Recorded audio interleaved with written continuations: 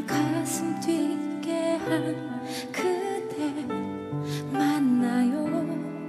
세월이 흐른 지금에도